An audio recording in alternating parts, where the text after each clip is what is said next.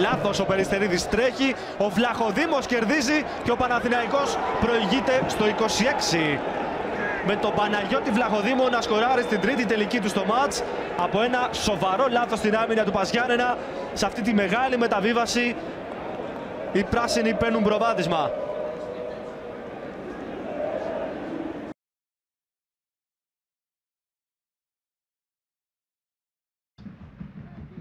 Διεκδικεί ο Χαρίς καλύπτει.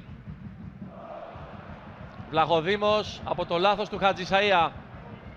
Ψάχνει χώρο, έκανε πάσα για τον Μπέρτο Πλασέ 1-0. Το σούτ με το αριστερό για να νικήσει το Βελίδι. Αλλά υποπίεση δεν μπορούσε να γυρίσει την μπάλα προς τα πίσω όπως ήθελε. Κόντρα επίθεση για τους κυπεδούκους με Βλαχοδήμο. Πετάει μπροστά για τον ε, Καλτσά πίσω βήματα από το Βελίδι. Καλτσά στο τετατέτ. Βελίδης δεν μπορεί να έχει απεινούς. Με τρεις μπαλιές μετέφεραν κίνδυνο και απειλή. Στο 83 για το κόρνερ ο Λέτο, η κεφαλιά, να το 1-0 για τον Παναθηναϊκό. Γκολ στο πρωτάθλημα για τον Λέτο, τελευταίο του με τον Ηρακλή στις 30 Οκτωβρίου του 10. Μένε το 8.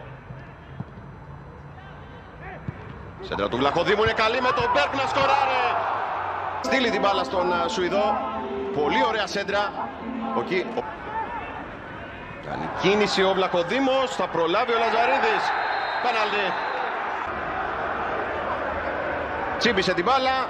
Τον γκρέμισε. Πεντακάθαρη 90. Ο Λέτο εκτελεί.